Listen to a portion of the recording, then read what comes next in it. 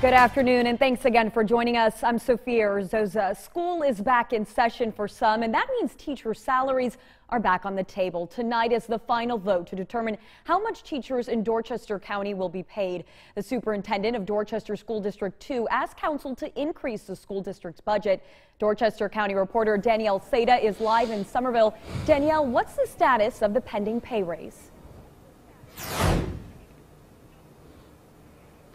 Sophia, tonight at 6, council members will vote for the final time. If it's approved, kindergarten to 12th grade teachers may be seeing a little extra cash in their pockets this upcoming school year.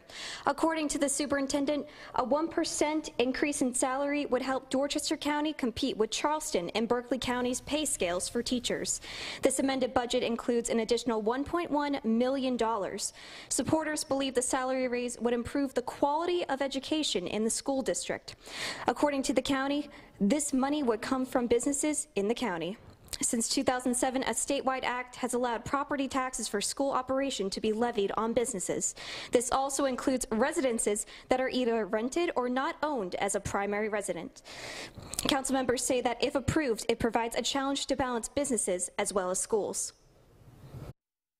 Our goal is to shift this from a bedroom community where all of our taxes are dependent on homeowners um, and, and actually bring in this business and industry where we've got a much stronger, much more diverse tax base.